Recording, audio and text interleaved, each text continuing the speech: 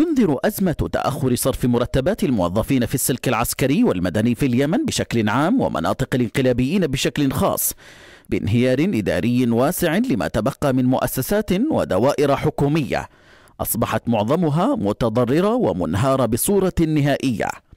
فحالة من الاحتقان باتت تتوسع كل يوم لدى قطاع الموظفين الحكوميين والذين بات بعضهم يبحث عما يوفر أدنى متطلبات الحياة خارج هذه المؤسسات في ظل عدم بروز أي مشاريع أو حلول فعلية بادية في الأفق.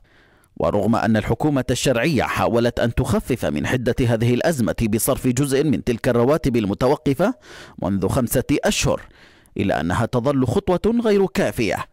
ولا تعكس حجم الكارثة التي باتت تنتظر الجميع.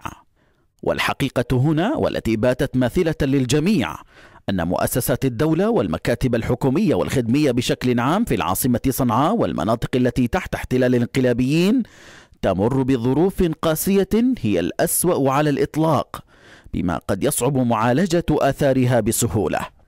فالتلاعب وعدم صرف المرتبات لفترة خمسة أشهر بعد نهب البنك المركزي والتلاعب بالإيرادات وإفشال المؤسسات بصورة متعمدة أدى إلى تغيب كثير من الموظفين والإداريين بطريقة تفقد المؤسسات الخدمية للدولة القدرة على القيام بواجبها تجاه الناس.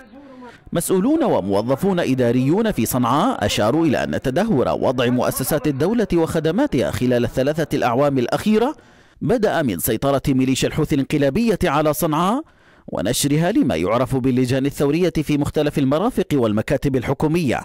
ما جعلها كدولة موازية داخل الدولة أفقد مؤسسات الدولة التماسك وأدى إلى هذا الوضع الكارثي الذي بات يهدد مئات الآلاف من المواطنين.